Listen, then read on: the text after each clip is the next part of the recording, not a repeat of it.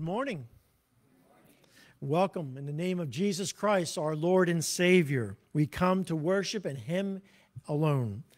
And uh, welcoming everybody that's coming in. I see Mrs. Tieford was out there. I was going to say, let those link boys in. You're holding them back. I know you like talking. Oh, to the link boys. Okay. We're starting with a little lightheartedness, but uh, we are serious about our time in worship today. Uh, grab your bulletins. You know, we always do announcements at this time. And so let me just highlight a few things. And really, everything is what I'm going to say involves discipleship. We do many things of fellowship and service and other opportunities of ministry, but uh, I'm really going to be touching maybe on only on discipleship now just came to my mind. I'd like to make one reference to outreach, but on the back cover of the bulletin, you find the listing of our adult Sunday school studies and electives. So again, you can find a place there, adults, in those uh, those uh, classes. We have classes for all ages. We invite you to join us. You can join Sunday school at any time, any time of the year. Uh, Bible studies have started now. We've ended up in September. So I'll see that list of offerings there coming up. One especially is coming up October 7th. We'll be getting a new type of Bible study uh, slash course of study uh, called Living Victoriously. And uh, Lori and I will be uh, teaching that. And uh, I think next week she's going to give an announcement about that, more detail of that. And we're looking really forward to that. So if you have some questions about the content, how we're going to do it, we'd love to have you join us. And that'll be on the first and third Thursdays of the month. Uh, Awana, another discipleship ministry, coming up October 13th. Again, be in prayer for that. The children that you know that is in that age category, we'd love to have you welcome them and bring them to uh, Awana. Uh, if you, Lord's laying on your heart, children and uh, youth ministry, please see Pastor Chris. Uh, he'd love to hear from you and uh, where the Lord's directing. So again, all that's coming together. And if you, again you have questions about Awana, see the Shirks also. I said about outreach. Uh, Pray and Go, we've been doing since uh, July, uh, and uh, we've had really good times with that. The weather has not always played a good part in that. We've had a lot of cancellations because of weather on Wednesday nights. We're going to finish out September on Wednesday night, uh, but in October, we're going to have one Sunday uh, with a special emphasis. We'll call it Pray and Go Sunday. We'll have our regular services in Sunday school, but at 12 noon, those that want to join us for Pray and Go, we're going to give you lunch very simple lunch. We'll have a short time of lunch, and then we're going to go out into the neighborhood again, prayer, prayer walking, and just hanging a door a hanger on each door that we meet. So we want to finish out the Pray and Go season with a Pray and Go Sunday. That'll be in October, most likely mid October. Uh, more details will be there. You say, I don't know what I'm going to do. How do you do this? You'll be assigned if you're new uh, somebody that's already been doing it. So you don't feel alone. We don't just throw you out there, but we've been having a really good nights of going out there in the community. And again, we want to make a, our community aware that there's a church that's praying for them and concerned about our community. Your prayer list, of course, is filled always, every week uh, for our church and community prayer needs. Let me give you some updates. Uh, we have listed Marie Elliker at York Hospital. She's now home recovering. Don Hammer was listed at UPMC Memorial. He's home recovering. So everybody's out of the hospital. We praise the Lord for that, but continue to pray for those households. Uh, we ask you to pray for the, the Shearer family. Uh, Blaine Shearer uh, grew up here. Uh, his family uh, grew up here, and um, at 54 passed away this week uh, after suffering with COVID. So remember uh, the Shearer family in your prayers. The services are on services on Tuesday. So remember Linda and their children in your prayers. That's all of our announcements. And now our focus is on worship. And you'll see in your order of worship in the bulletin, it says hymn favorites and offerings of praise. So after the praise team, we're going to enter into a more music and worship. And you're going to give us a, a favorite. And we're going to sing the first and last stanza of the hymn that you select for us. But we're also looking for offerings of praise and thanksgiving to the Lord, a God sighting, as we call it in VBS. What, you know, can praise the Lord Lord, thank the Lord for, we invite you to share during that time. So let's come now, stand, as I've been saying, give a big smile to everybody, a wave, engage each other, and let's come before the Lord and engage Him in worship today.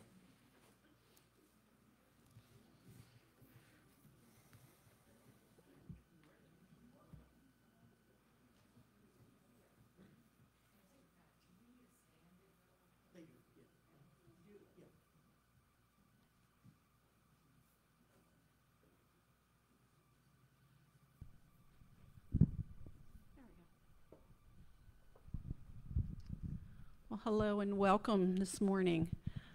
What are y'all doing way back there? Oh my goodness. that's all right. You'll just have to sing a little louder, that's all. It is our privilege to worship with you this morning and join us in song as we start out with Lord, I lift your name on high.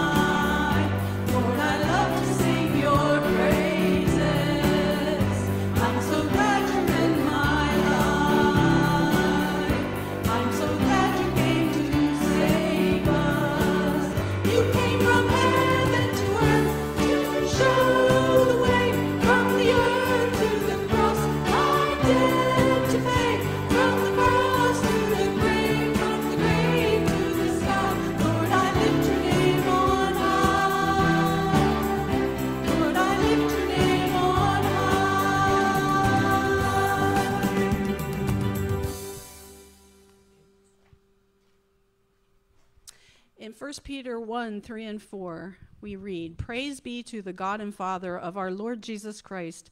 In his great mercy, he has given us new birth into a living hope through the resurrection of Jesus Christ from the dead and into an inheritance that can never perish, spoil, or fade. Our next song is entitled Living Hope.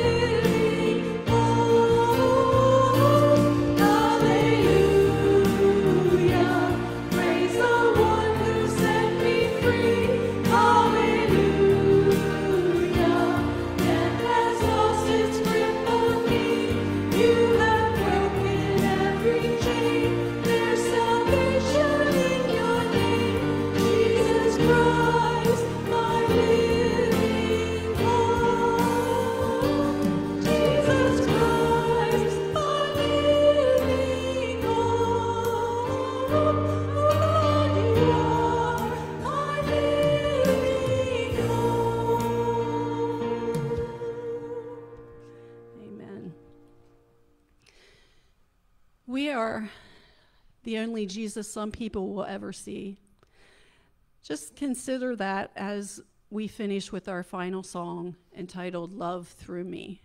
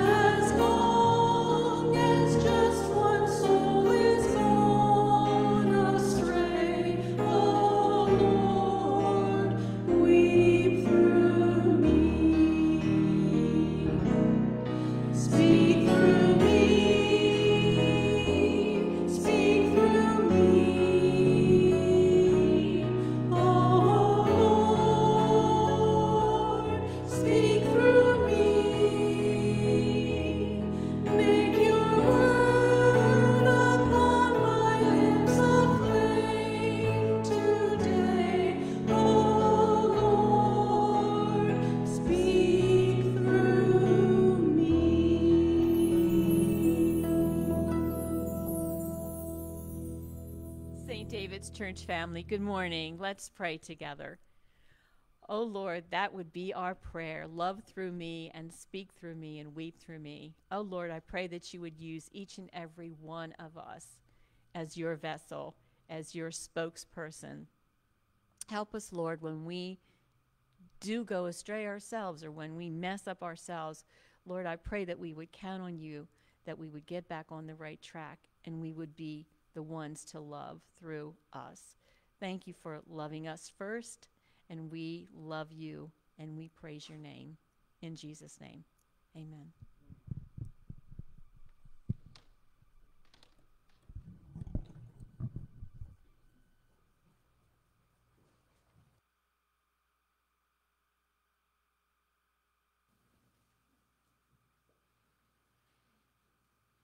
Okay, this is our praise and song time. And so, how about we start with a praise, a thanksgiving, a God sighting? Who would like to share?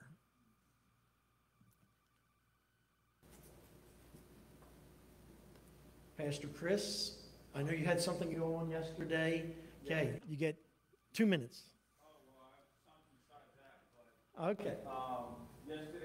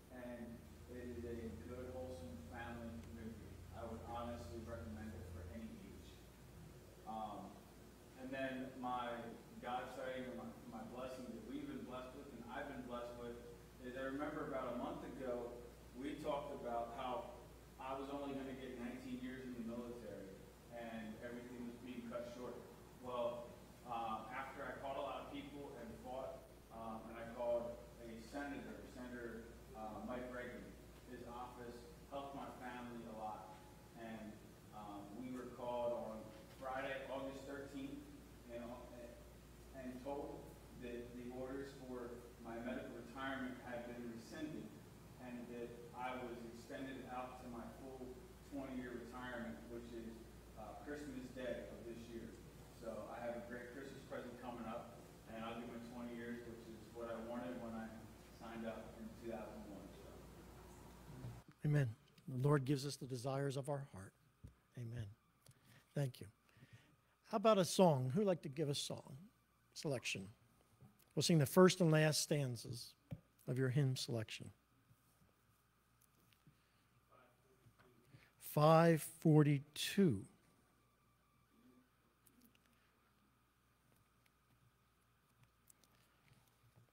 When we all get to heaven, one and four.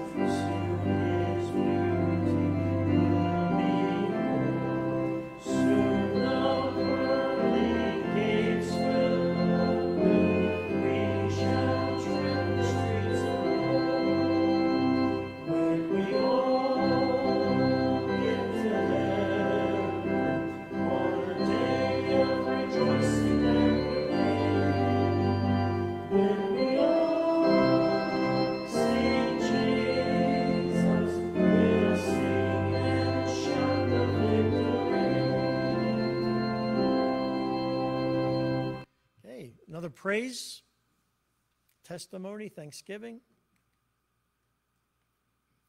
Jacob. My last two weeks have been absolutely chaotic. Anyone that's followed my life.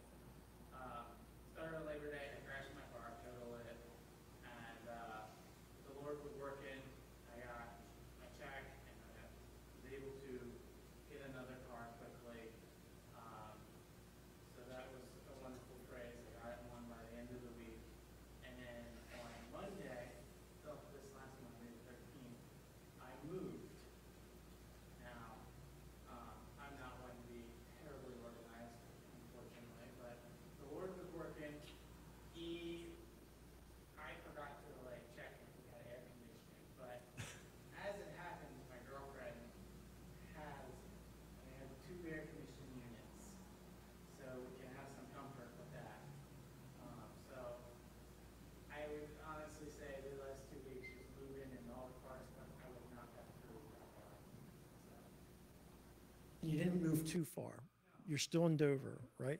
Good, good, good. Thank you, Jacob. How about a song? Song selection? Josh, what's your song? 43. 43? Okay. Great is thy faithfulness. One and three.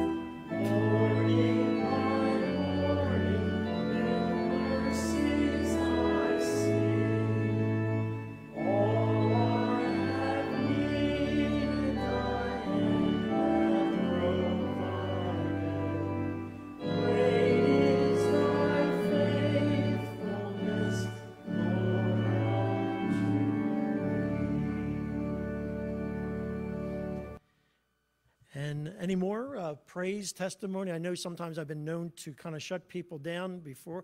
Yes, go ahead.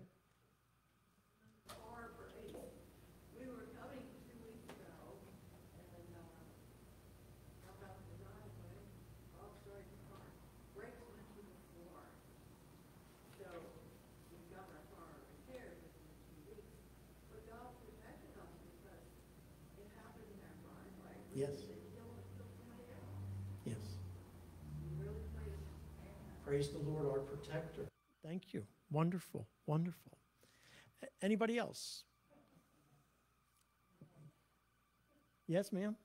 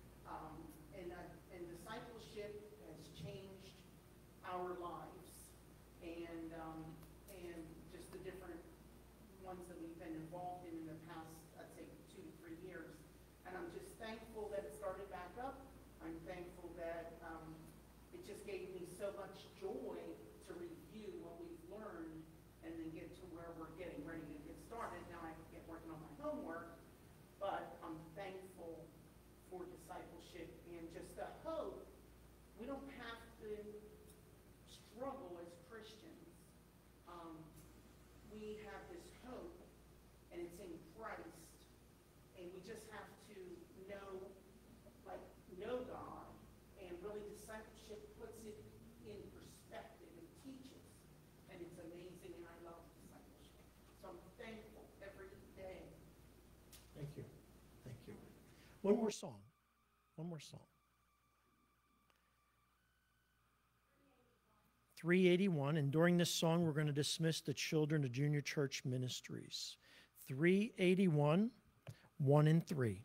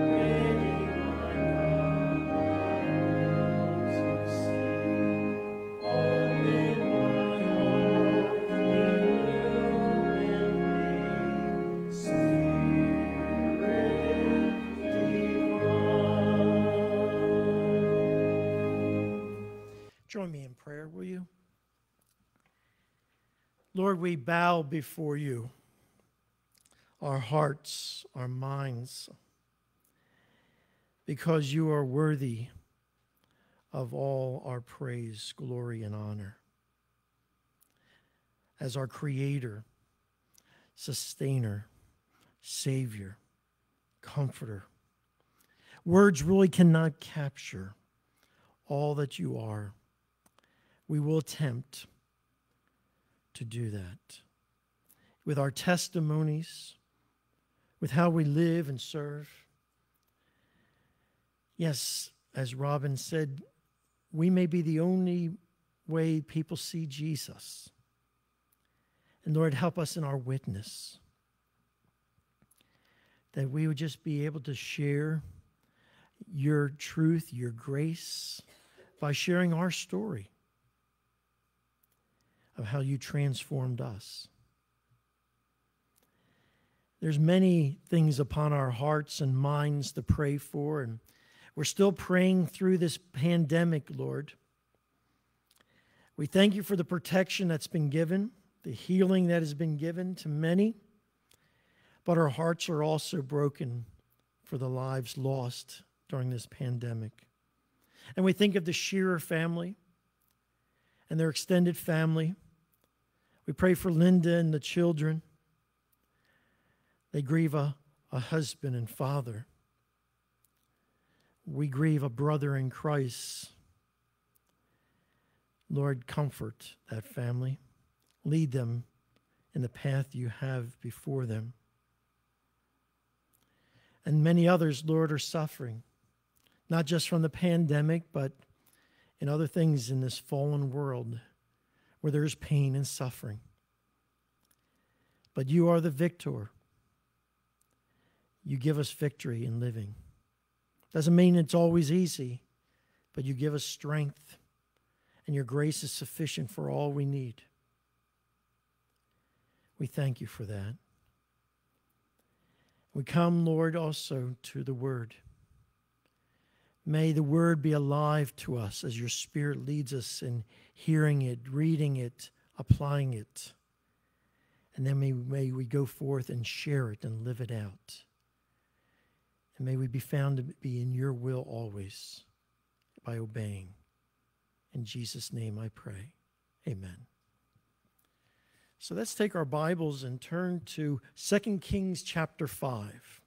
2 Kings chapter 5.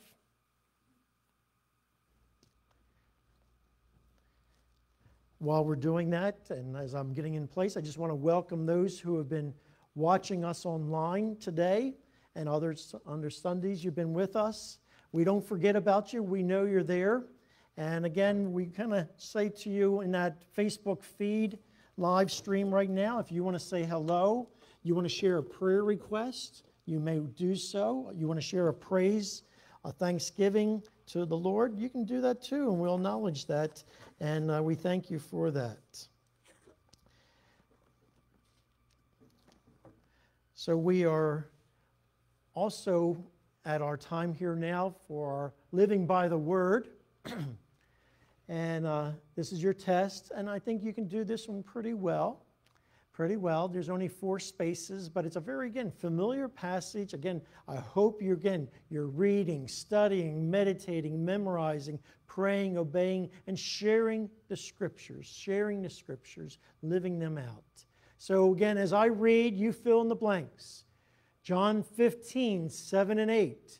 If you in me and my remain in you, ask whatever you wish, and it will be given you. This is to my glory that you bear much, showing yourselves to be my disciples. Very well. Well, I think you're tied with 8 o'clock service and completion here. But again, uh, let's read it together boldly, honorably, God's word, starting at John, John 15, 7 and 8. If you remain in me and my words remain in you, ask whatever you wish, and it will be given you. This is my, to my Father's glory that you bear much fruit, showing yourselves to be my disciples. Amen. And again, uh, this will lead us as we, this month, looking on discipleship uh, scripture. In October, we're going to begin a series simply called Disciple and looking at what did Jesus say about if you do this, you are truly my disciples. So we're going to look at that, how Jesus defines disciples, those that follow him. So now, uh, today, we're just kind of, we do a lot of series, but we're doing some single uh, sermons today. And, and we're in the uh, Old Testament, one of my favorite stories, and I have a lot of them, but this is one of the favorites and uh, from 2 Kings chapter 5. Anybody heard the name Naaman before? Naaman? Yes, okay. And it's a great story. It's a really great story. And yet Naaman lived thousands and thousands, uh, about, about 1,300 years maybe before Jesus. Okay, so it's an old story, okay? But it's a powerful story. And it's kind of about a story that you could, I hope, relate to relate to. A guy 1300 BC, I can relate to him. Solomon wrote that there's nothing new under the sun. There's a lot of just human nature uh, and just the facts of life that life is difficult, life is fragile, there's suffering, there's pain, there's sickness, there's healing, there's joy the Lord gives. And we're going to see that in this story. A lot of things in this story but I hope you find that you can relate to it. You can relate to it, okay? And we're going to wrap that up at the end about how you can relate to this. I hope you'll see. So let's start 2 Kings chapter 5, beginning at verse 1. Now Naaman was commander of the army of the king of Aram. He was a great man in the sight of his master and highly regarded because through him the Lord had given victory to Aram. He was a valiant soldier, but he had leprosy. So let's set the scene here, okay? Naaman, he's a commander, he's over the entire army of a country called Aram. You will not find that on a modern map, okay? But you will find a country uh, in the Middle East called Syria. You've heard of Syria, right? There's a civil war that's going on there. Sometimes the U.S. is involved in a lot of it, but a lot of times behind the scenes we are, and Russia's there. It's really a, a you know a bad point right now in, in the world. But uh, so this was Syria long ago, and it was called uh, Aram. Uh, the king of Aram, his name was Ben Hadad II, if you, you're in history, uh, but he's not mentioned by name here specifically in this passage. And uh, so we have a- Naaman, who's really second in charge, second in command of the nation after the king. Okay? So he has a very high position. He's been victorious. And it says here, even the Lord had given him a victory. God was given this uh, non believing Jew, non Jew and his country blessing. Why? Because Israel, at that time, if you read Kings, uh, the, this portion in this here, they were in apostate. They were out of faith and obedience with God. And so there was a cycle going on, and God was bringing a lot of judgment. And so there was a lot of conflict between Aram and Israel. Okay? And Naaman was successful in bringing this, this kind of judgment, we could see, uh, from God to Israel. And so he, we have his uh, resume, we'd say. He's commander, he's highly respected, but there's a note there. Did you see the note at the end of that first verse? But he had leprosy. And if you would tell your story, I would tell my story. We always kind of list what? Where our achievements and our education in a resume, maybe personal experiences, uh, skills you've learned. But if you're going to tell your story outside that resume, you might say, but I have this, or I struggle with this. Maybe you only share that with family and friends, or maybe the closest people in your life. But it seemed like we all have that ending, but Pat blank. You could fill in your, your blanks there about you. Okay? So again, this is about life. This story is about life a successful man, but he had leprosy. And you know what leprosy is? You know, we've heard it, we read about a lot in the scriptures at times. People afflicted with le- leprosy. It's a skin disease. Modern times, it's called Hansen's disease. It still exists in parts of the world, like India. And sometimes it may just be a spot. of a, a, a skin infection, a wound that never heals. It could be over the whole person's body. So again, his may have been small, and we'll, we'll get to that, why we get that idea in a moment. But in the resume of life, we all have kind of that, but this, that we kind of may be embarrassed of, we struggle with, and, and, it, and it and enslaves us even. So let's go to verse 2. Now, bands from Aram had gone out and had taken captive a young girl from Israel, and she served Naaman's wife. She said to her mistress, If only my master would see the prophet who is in Samaria, he would cure him of his leprosy. So we have a, a, a Jewish girl, Israelite girl. She works for Naaman's wife, and she says, you know, back in Israel, in the area of Samaria, uh, there's a prophet, there's a man of God that could heal him. So, what can we learn just in that one verse? We're learning a lot already in one verse. Second verse is never underestimate the power of a simple witness.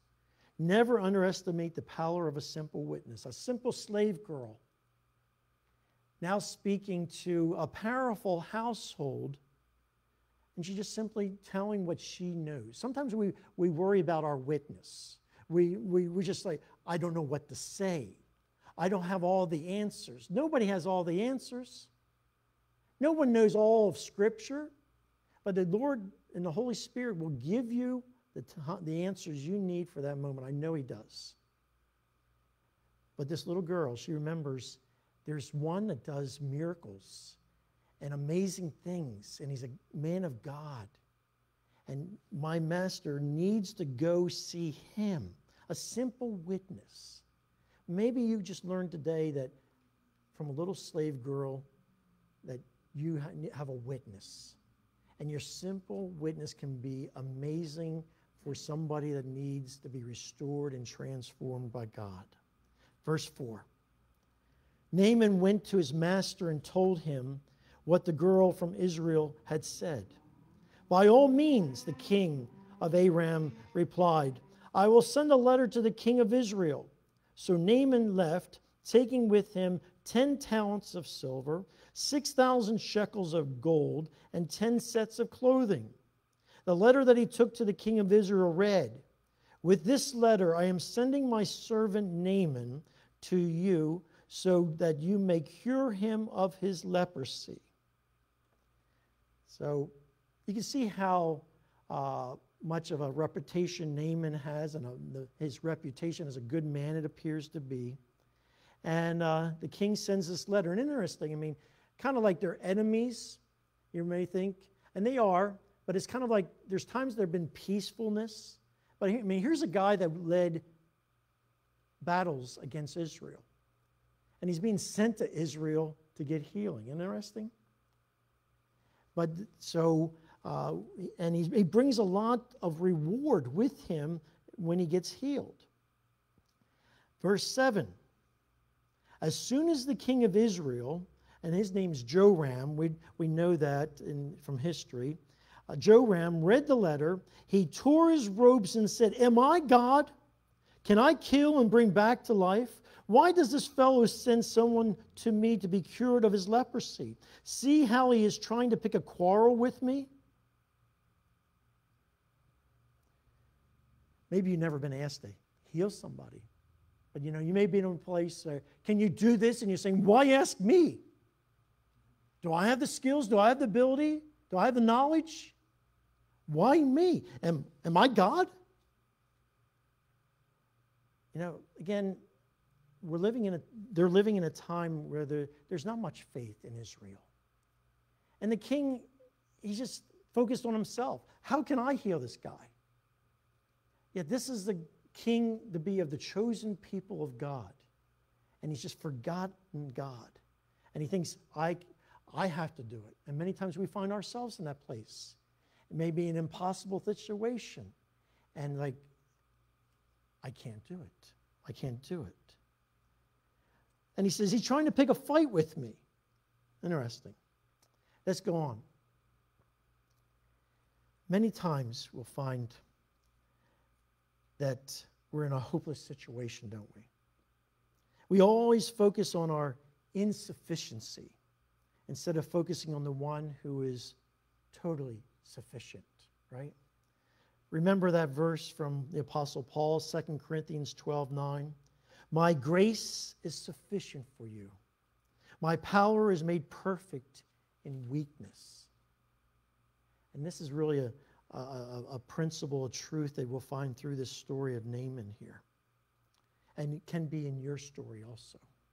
Verse 8 When Elijah, the man of God, heard that the king of Israel had torn his robes, he sent him this message Why have you torn your robes? Have the man come to me, and he will know that there is a prophet in Israel. So Naaman went with his horses and chariots and stopped at the door of Elijah's house. Elijah sent a messenger to say to him, Go wash yourself seven times in the Jordan, and your flesh will be restored, and you will be cleansed. But Naaman went away angry and said, I thought that he would surely come out to me and stand and call on the name of the Lord his God, wave his hand over the spot and cure me of my leprosy. Are not Abana and Pharpar, the rivers of Damascus, better than any of the waters of Israel? Couldn't I wash in them and be cleansed? So he turned and he went off in a rage. Now, we see the pride of Naaman here, don't we? And we all struggle with pride at times. So Elijah says, Send him to me I'll heal him. He gets to Elijah's house with the crowd that is with him, and Elijah sends a messenger to him. Okay? Again, this is a guy that's been, you know, knows to give orders to people. He expects things from people. He's been honored by people, so he's very prideful. And he says, he's not even can come to the door and tell me. And, you know, he can just come and wave his hand over the spot. So we're, seeing, again, assuming that it's isolated, this leprosy.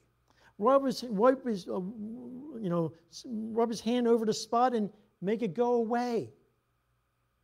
But now you tell me to go wash in the dirty Jordan River, where we have better, cleaner water back home.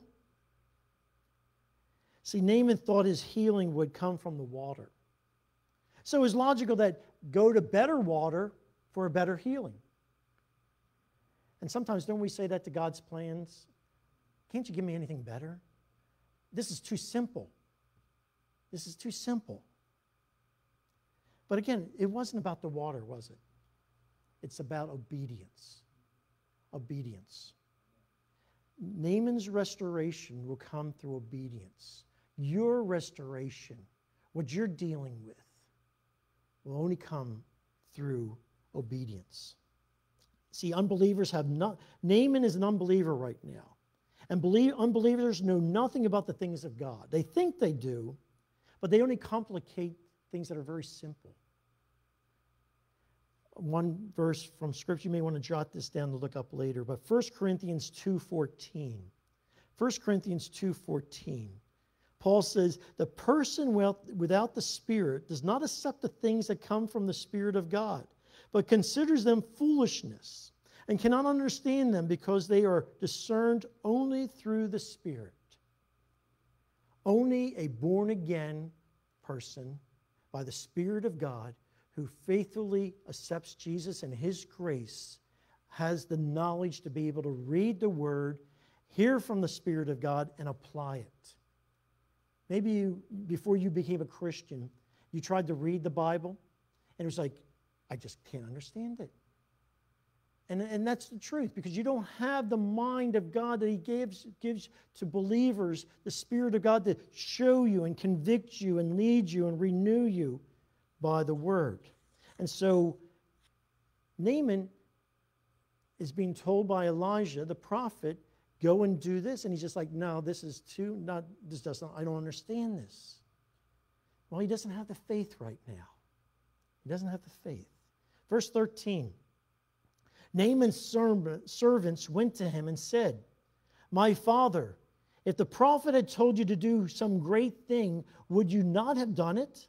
How much more then when he tells you, Wash and be cleansed? So he went down and dipped himself into the Jordan seven times, as the man of God had told him. And his flesh was restored and became clean like that of a young boy. Then Naaman and his attendants went back to the man of God. He stood before him and said, Now I know there is no God in all the world except in Israel. He's come to faith in the God of Israel. Okay? D.L. Moody, evangelist, preacher of long ago, decades ago, said this about Naaman's story. Naaman lost his temper, then he lost his pride, then he lost his leprosy.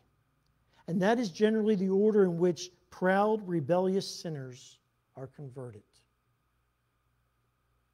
I would say, yes, that is so true about us.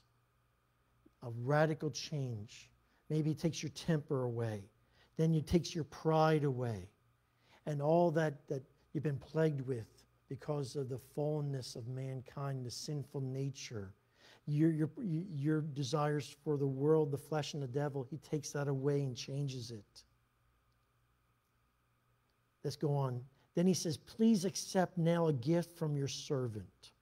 The prophet answered, As surely as the Lord lives, whom I serve, I will not accept a thing.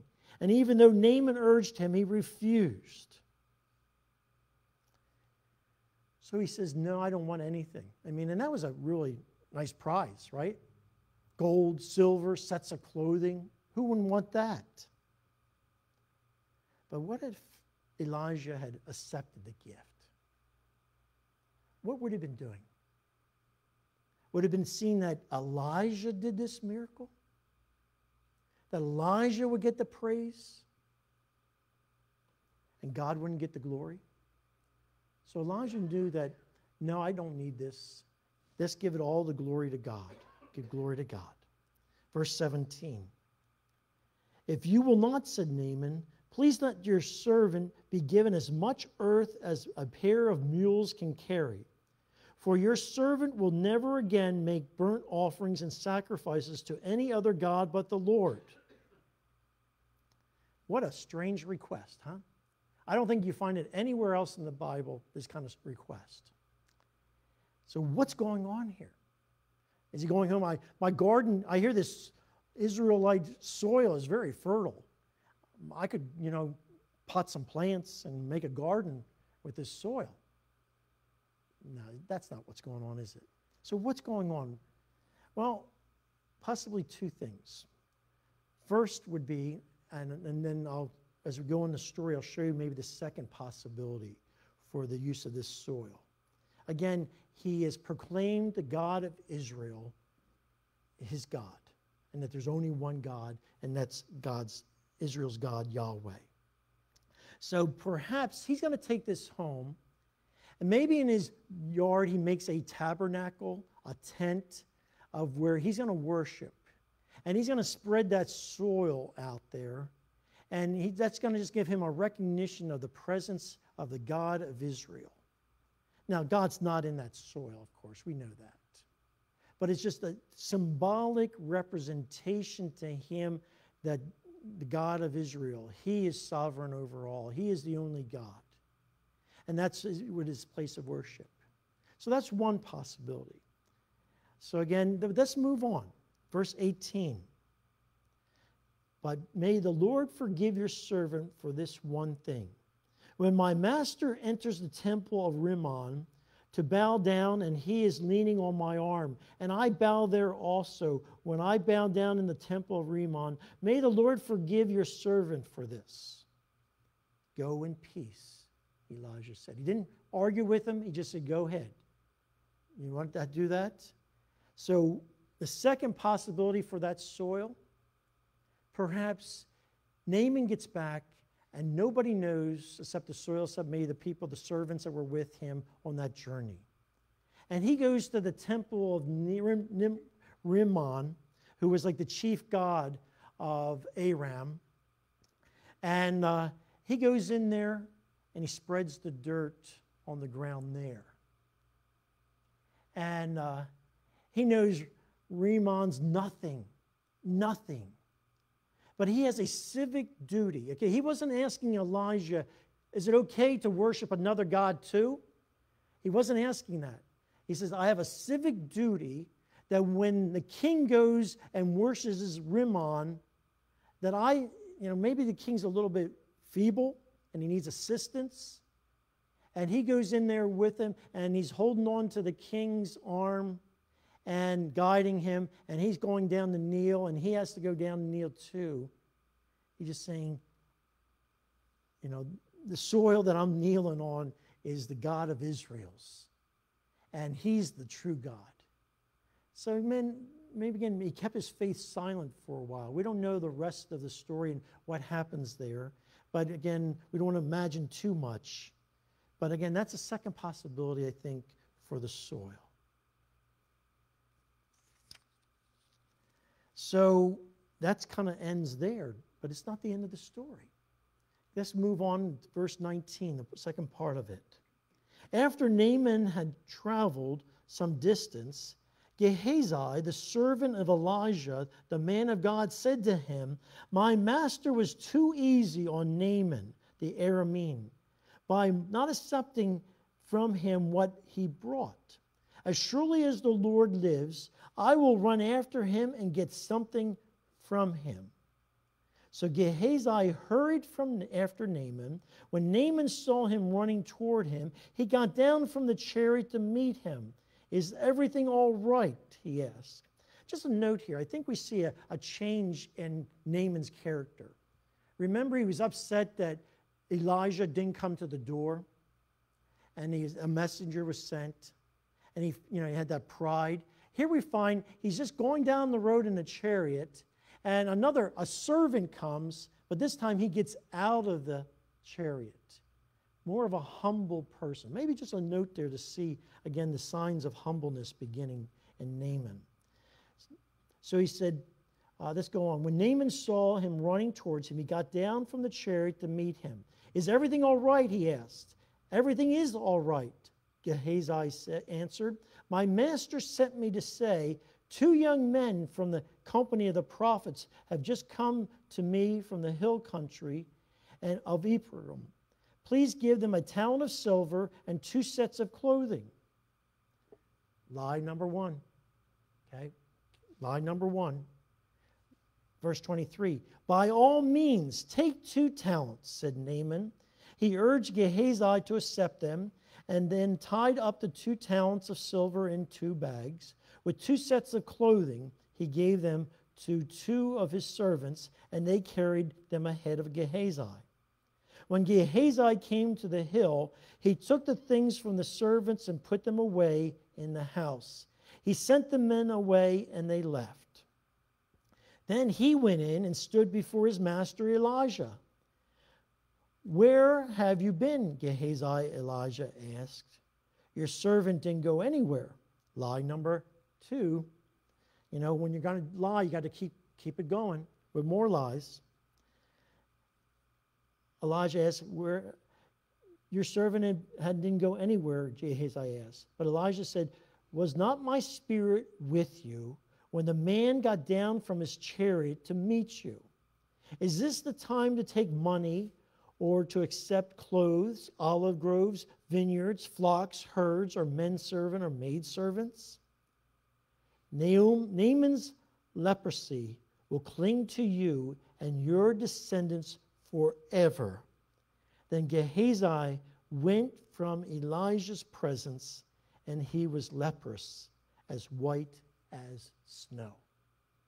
Wow. Wow. The judgment of God. The judgment of God. Elisha said, You know, is this the time to take reward?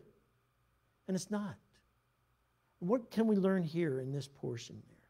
True service True service for God is motivated by love and devotion to God and seeks no personal gain. Seeks no personal gain. So when you and I serve, we shouldn't look for anything in return. Now, there may be times of blessing and care, but, you know, I'll pray for you if you give me $5.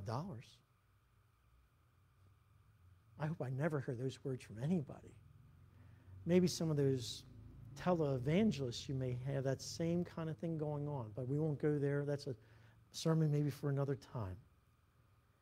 But when you serve, do you just look to just give what God has given you of truth, time, talent, treasures, and don't look for anything in return? Because, in a sense, God will take care of you. God will take care of you. Jesus said this in Luke 12 15. Watch out. Be on your guard against all kinds of greed. Life does not consist in the abundance of possessions. There's all forms of greed. And sometimes it even creeps into our service. And what is the motivation for our service? For somebody to praise you, compliment you, give you a gift in return? A humble, obedient child of God serves because that's what his Lord wants him to do. So I told you it's an interesting story, the story of Naaman. And Naaman was restored. His body was cleansed from the leprosy. But there was a lot of other restoration, wasn't there, in his life? He went from worshiping a, a pagan god named Rimmon, and perhaps even other gods, and now he's solely worshiping, obeying the God of Israel, Yahweh. A spiritual transformation. And I started out this morning again, your, your life resume, your life story, and may have that, that ending of your, your, your accomplishments, your nice stories, but there's that one thing or many things about you. But Pat has a pro- problem with pride. Or Lori has a problem with blank. Dan has a problem with blank. We all could put our names and blanks there. I'm not just picking on two people. I don't know exactly what's going on in their lives, but I know we all need restoration. We all need restoration. It's time for you to think, Lord, yeah, I've been trying to heal this on my own. I'm trying to be victorious this on my own. I've tried my ways and everything is exhausted and I can't do it. But your grace, your power is sufficient. Your grace and power is sufficient. Will you humble yourself, confess what you need, ask for that restoration and healing? And friends, it starts with faith and obedience. Faith only in Jesus as your Savior and Lord. That who died for your sins, who rose again from the dead. The power that raised Jesus from the dead gives you a new life as you accept God's grace by faith. And He can transform and restore you. Will you trust Him for the restoration? Let's pray.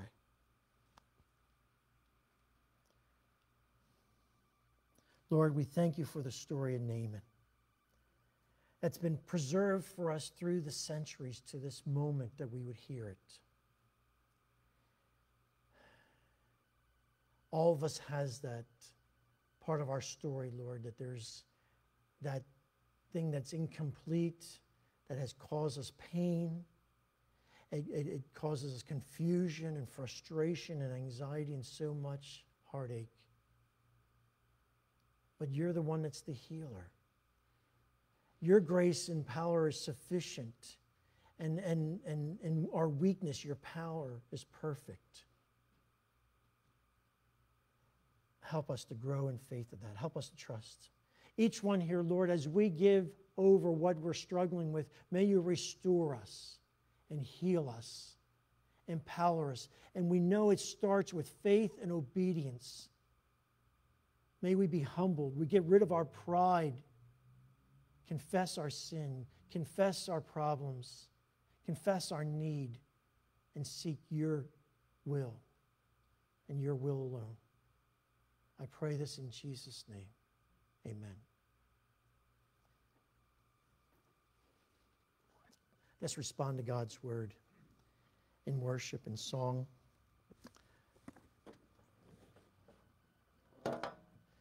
Three forty nine, trust and obey. Three forty nine, trust and obey. We're going to just sing the first, third, and I believe fifth. Yes, first, third, and fifth verses of this song. 349 Trust and Obey.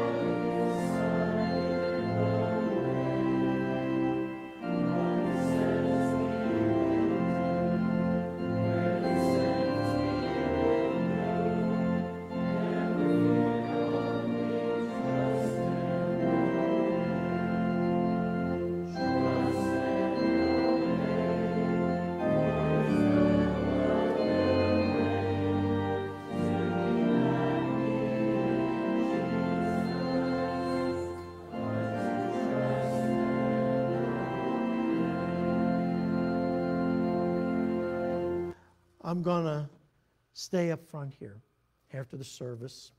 Uh, I hope you'll welcome each other and greet one another with the joy of the Lord and the love of the Lord. But I'm going to remain here. If you need to talk about a restoration of your life, that you want to give over to the Lord, what your struggles are, what your sin is, I'd like to pray with you, bring the word to you at this time, okay?